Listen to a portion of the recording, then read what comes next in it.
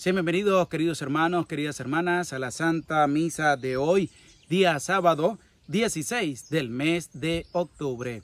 En este día la iglesia recuerda la memoria de Santa Eduviques religiosa, donde oramos al Señor en este día por todos los religiosos, por todas las religiosas, para que Dios les siga bendiciendo y les siga acompañando siempre. También oramos en esta Eucaristía por ti, por tus necesidades, por tu familia, por todos los tuyos para que Dios les bendiga por siempre. Ofrezco esta Santa Eucaristía por todos los fieles difuntos, por todas las benditas ánimas del purgatorio, por Keiri Karení Maldonado, Aurora Pérez Ledema, José Ruperto Medina, Luis Fernando Mujica y por todos los que han perdido la vida a causa de este virus que está azotando al mundo entero, para que Dios les perdone sus pecados y les permita gozar de su presencia en el cielo. Ofrezco esta Santa Eucaristía por todos los enfermos, para que Dios pase su mano sanadora sobre cada uno de ellos y le restablezca la salud.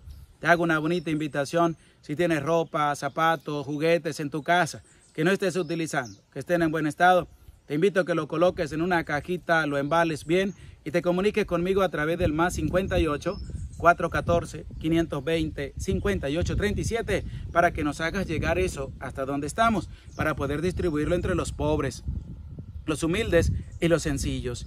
Y te invito de corazón que vivas esta santa Eucaristía.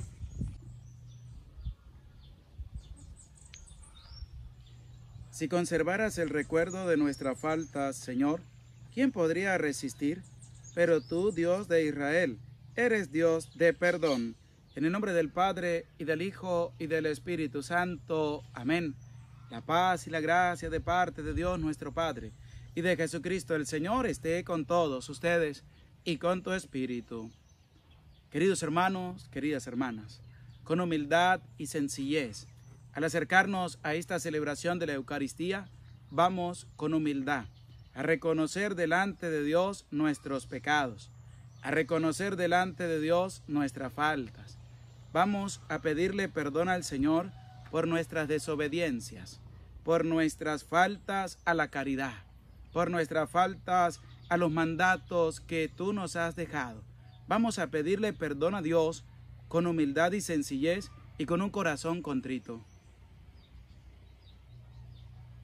Decimos, yo confieso ante Dios Todopoderoso y ante ustedes, hermanos, que he pecado mucho de pensamiento, palabra, obra y omisión, por mi culpa, por mi culpa, por mi gran culpa. Por eso ruego a Santa María, siempre Virgen, a los ángeles, a los santos, y a ustedes, hermanos, que intercedan por mí ante Dios nuestro Señor. Dios Todopoderoso tenga misericordia de nosotros, perdone nuestros pecados y nos lleve a la vida eterna. Amén. Oremos.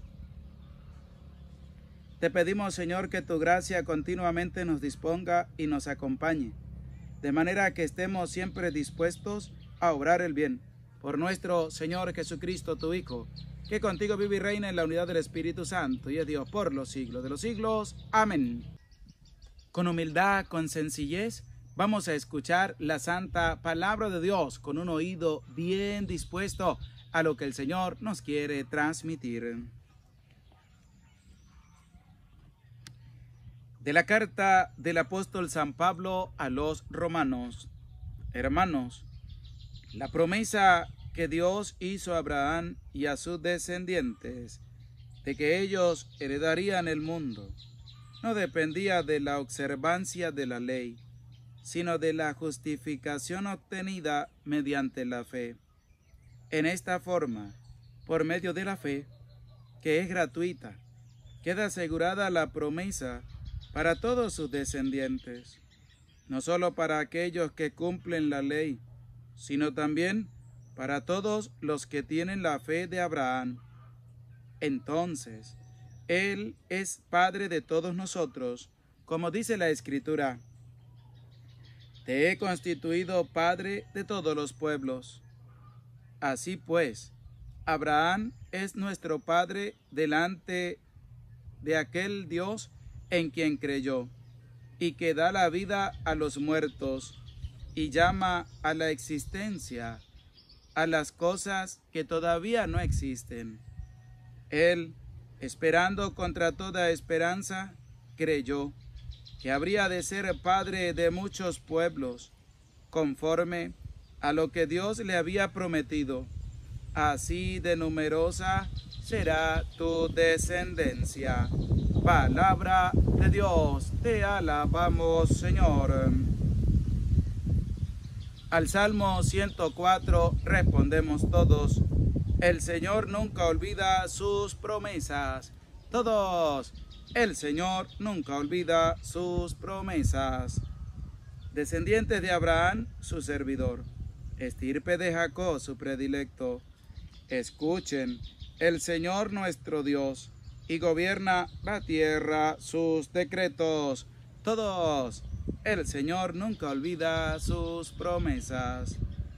Ni aunque transcurran mil generaciones, se olvidará el Señor de sus promesas de la alianza pactada con Abraham, del juramento a Isaac que un día le hiciere. Todos, el Señor nunca olvida sus promesas. Se acordó de la palabra sagrada que había dado a su siervo, Abraham, y sacó a su pueblo con alegría, a sus escogidos con gritos de triunfo. Todos, el Señor nunca olvida sus promesas. Aleluya, aleluya. El Espíritu de verdad dará testimonio de mí, dice el Señor, y también ustedes serán mis testigos. Aleluya, aleluya. El Señor esté con ustedes y con tu espíritu. Lectura del Santo Evangelio según San Lucas. Gloria a ti, Señor.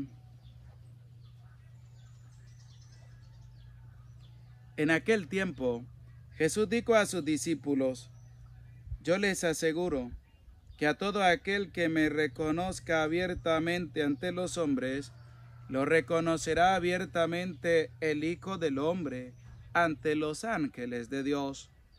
Pero a aquel que me niegue ante los hombres, yo lo negaré ante los ángeles de Dios. A todo aquel que diga una palabra contra el Hijo del Hombre, se le perdonará.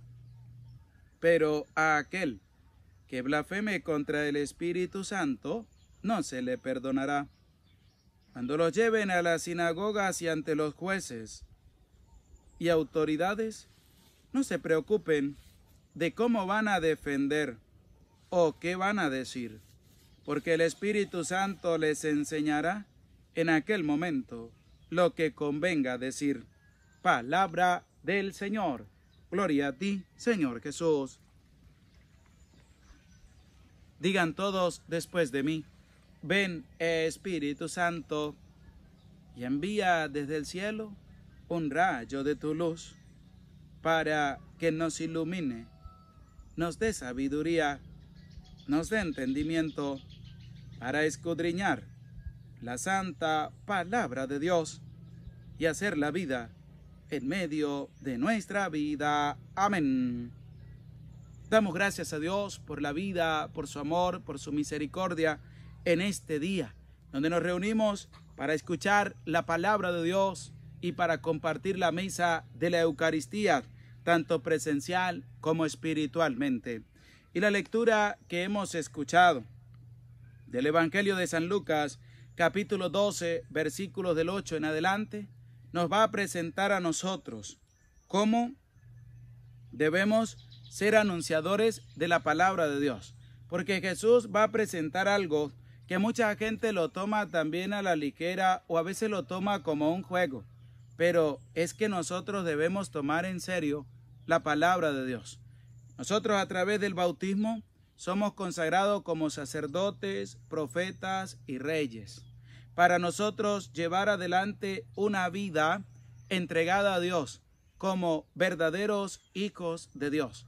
Y eso conlleva también de que tengamos y tomemos en serio nuestra responsabilidad de ser anunciadores del reino de Dios, pero especialmente de ser anunciadores de aquel que vino al mundo a morir por ti, a morir por mí y a darnos la salvación.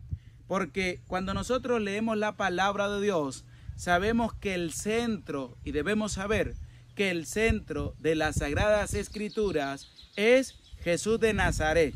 a quien la escritura se refiere y da fiel cumplimiento, a quien tú y yo debemos anunciar con valentía. Por eso, este Evangelio dice, Jesús dijo a sus discípulos, Jesús le habló a la gente, Jesús le habló a los que lo estaban siguiendo.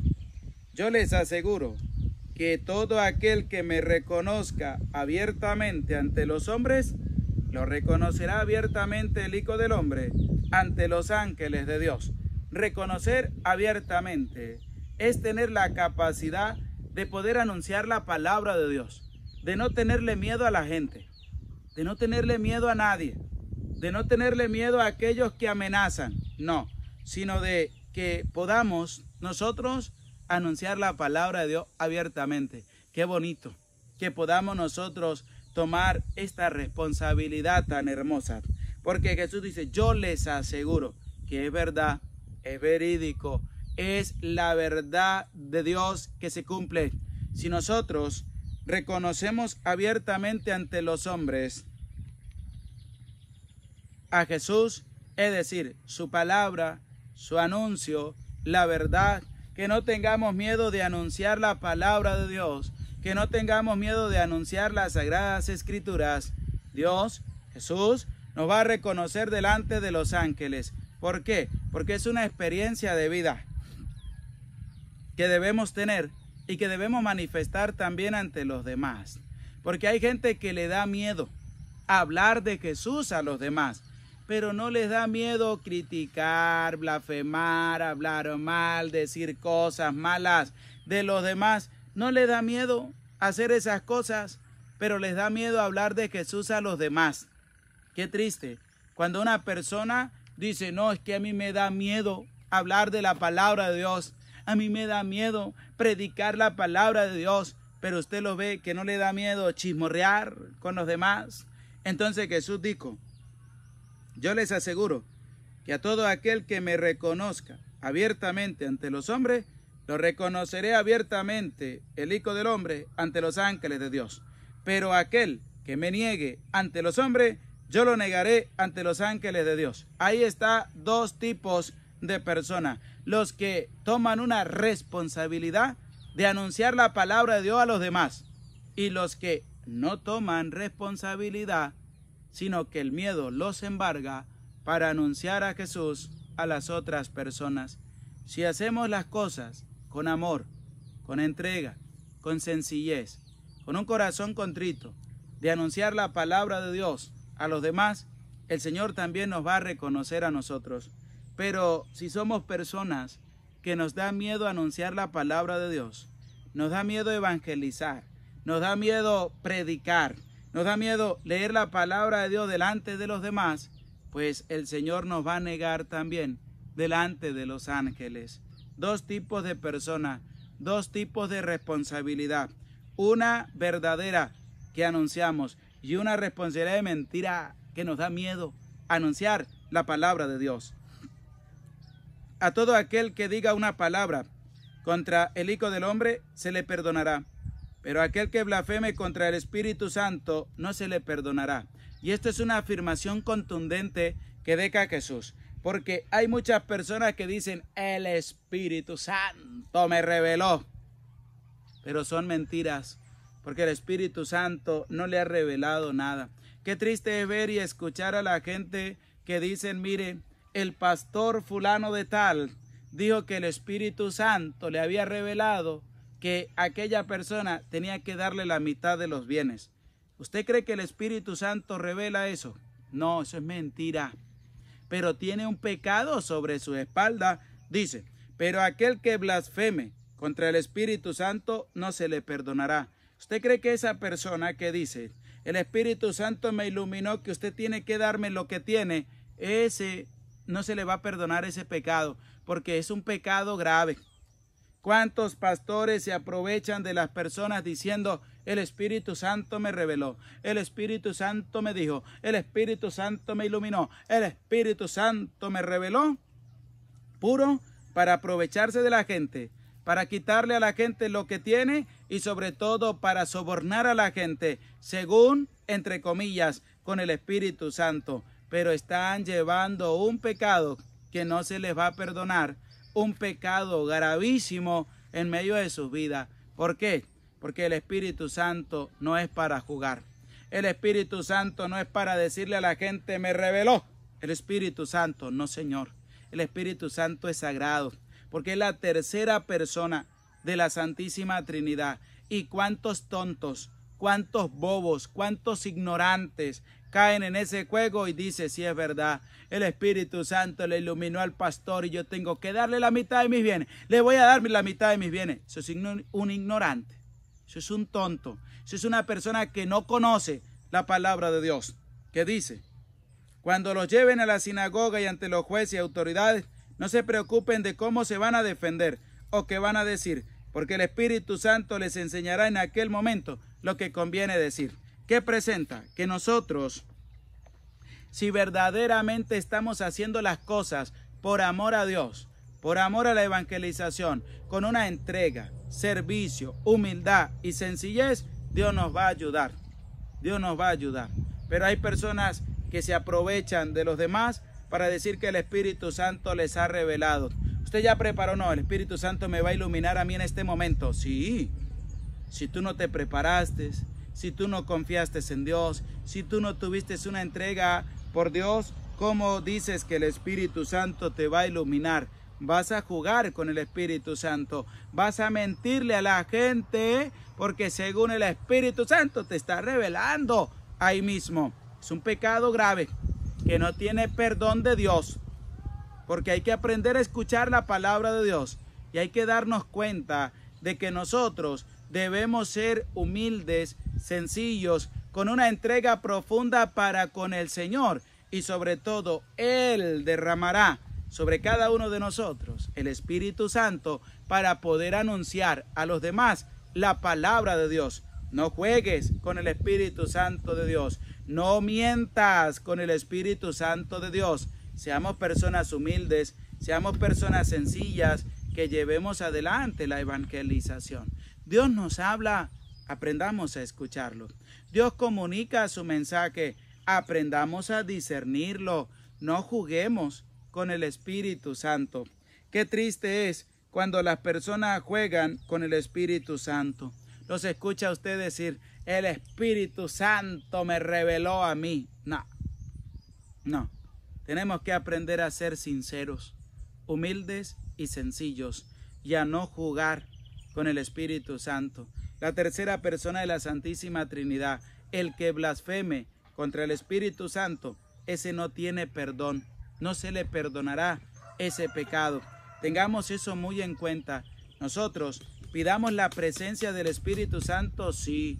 Pidamos al Espíritu Santo que nos ilumine, sí. Pidamos al Espíritu Santo que nos ayude a discernir, sí, eso se hace, pero hay que hacerlo con anticipación, con tiempo, con dedicación, con entrega y no hacerlo para engañar a la gente sabiendo que el Espíritu Santo eso no lo revela, eso no lo anuncia para que tú vayas a aprovecharte de los demás. Ten en cuenta la palabra de Dios. Ten en cuenta el mensaje del Señor. Ten en cuenta lo que Dios nos anuncia y sobre todo en este tiempo que estamos viviendo de octubre, seamos personas que evangelicemos con amor. Seamos personas que llevemos adelante la evangelización con humildad, con sencillez y que pueda brotar de lo profundo de nuestro corazón esa entrega por dar a conocer a los demás el reino de los cielos. Gloria al Padre y al Hijo y al Espíritu Santo, como era en el principio, ahora y siempre, por los siglos de los siglos. Amén. En este momento de presentar ante el altar del Señor el pan y el vino, te invito a ti que presentes tu vida, tu familia, tus intenciones, tus necesidades y presenta también tu ofrenda, tu apoyo a la iglesia en sus necesidades. Bendito sea, Señor del universo, por este pan, fruto de la tierra y del trabajo del hombre, que recibe tu generosidad y ahora te presentamos. Él será para nosotros pan de vida. Decimos todos, bendito seas por siempre, Señor. Bendito sea, Señor del universo, por este vino fruto de la vid y del trabajo del hombre, que recibe tu generosidad y ahora te presentamos. Él será para nosotros bebida de salvación. Decimos todo, bendito seas por siempre, Señor. Orad, hermanos, para que este sacrificio mío y de ustedes sea agradable a Dios Padre Todopoderoso. El Señor reciba de tus manos este sacrificio para alabanza y gloria de su nombre, para nuestro bien y el de toda su santa iglesia. Recibe, Señor, la súplica de tus fieles, junto con estas ofrendas que te presentamos, para que lo que celebramos con devoción nos lleve a alcanzar la gloria del cielo. Por Jesucristo nuestro Señor. Amén. El Señor esté con ustedes y con tu espíritu. Levantemos el corazón. Lo tenemos levantado hacia el Señor. Demos gracias al Señor nuestro Dios. Es justo y necesario. En verdad es justo y necesario nuestro deber y fuente de salvación darte gracias, Padre Santo, siempre y en todo lugar, por Jesucristo tu Hijo amado. Él es tu palabra, por quien hiciste todas las cosas. Tú nos lo enviaste, para que hecho hombre por obra del Espíritu Santo y nacido de María la Virgen, fuera nuestro Salvador y Redentor. Él, en cumplimiento de tu voluntad, para destruir la muerte y manifestar la resurrección, extendió sus brazos en la cruz y así adquirió para ti un pueblo santo. Por eso con los ángeles y los santos proclamamos tu gloria, diciendo sin cesar, Santo, Santo, Santo es el Señor, Dios del universo. Llenos están el cielo y la tierra de tu gloria. Osana en el cielo. Bendito el que viene en nombre del Señor. Osana en el cielo. Santo eres en verdad, Señor, fuente de toda santidad. Por eso te pedimos que santifiques estos dones con la efusión de tu Espíritu de manera que se conviertan para nosotros en el cuerpo y la sangre de Jesucristo nuestro Señor, el cual, cuando iba a ser entregado a su pasión, voluntariamente aceptada, tomó pan, dándote gracia, lo partió y lo dio a sus discípulos, diciendo, tomen y coman todos de él, porque esto es mi cuerpo que será entregado por ustedes. Señor mío y Dios mío, sánanos, Señor, llénanos de ti, Señor.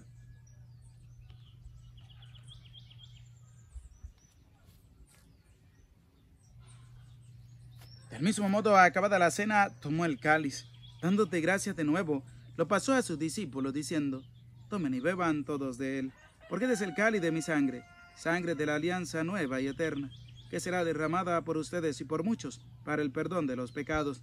Y les digo también, hagan esto en conmemoración mía. Señor mío y Dios mío, sánanos, Señor, llénanos de ti, Señor.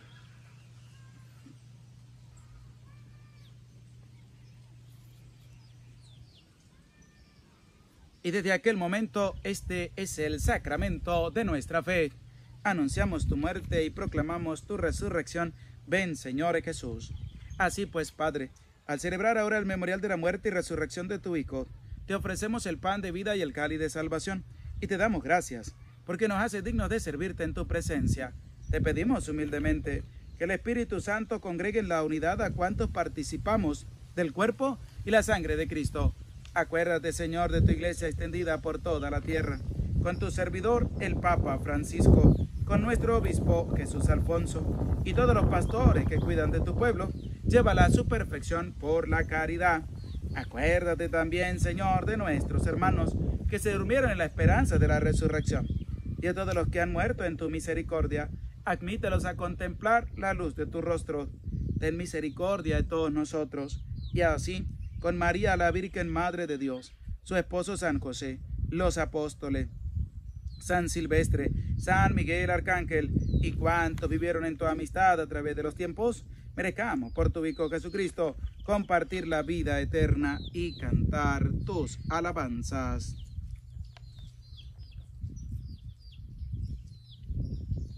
Por Cristo, con Él y en Él, a ti Dios Padre Omnipotente, en la unidad del Espíritu Santo, todo honor y toda gloria por los siglos de los siglos. Amén. Fieles a la recomendación del Salvador y siguiendo su divina enseñanza, nos atrevemos a decir, Padre nuestro que estás en el cielo, santificado sea tu nombre, venga a nosotros tu reino, hágase tu voluntad en la tierra como en el cielo. Danos hoy nuestro pan de cada día Perdona nuestras ofensas, como también nosotros perdonamos a los que nos ofenden. No nos dejes caer en tentación y líbranos del mal.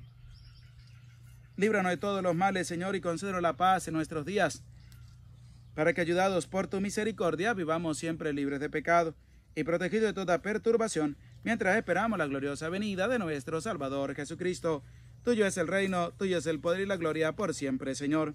Señor Jesucristo, que dijiste a tus apóstoles, la paz les dejo, mi paz les doy. No tengas en cuenta nuestros pecados, sino la fe de tu iglesia.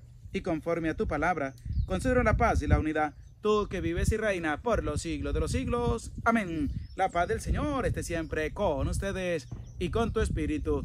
Como hijo de Dios, nos damos el abrazo de la paz. Se les aprecia con todo el corazón.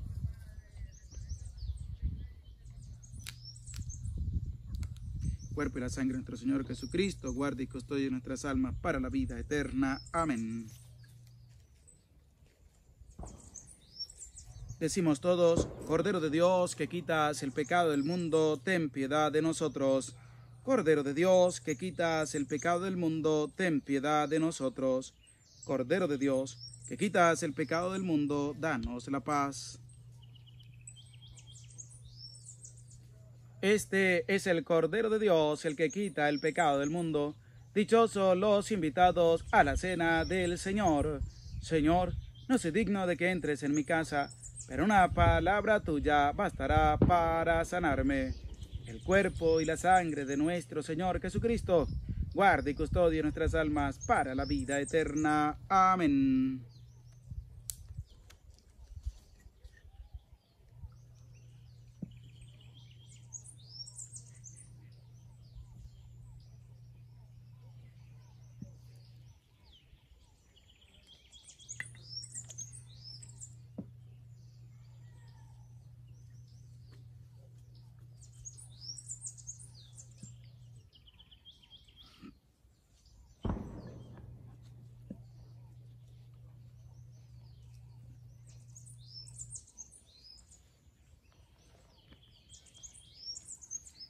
Los ricos se empobrecen y pasan hambre. Los que buscan al Señor no carecen de nada. Oremos. Señor, suplicamos a tu majestad que así como nos nutres con el sagrado alimento del cuerpo y de la sangre de tu Hijo, nos hagas participar de la naturaleza divina. Por Jesucristo nuestro Señor. Amén. El Señor esté con ustedes y con tu espíritu y la bendición de Dios, Padre, Hijo y Espíritu Santo, descienda sobre tu vida, sobre tu familia, sobre tu trabajo y te acompañe para siempre. Amén. Se les aprecia con todo el corazón. Dios les bendiga.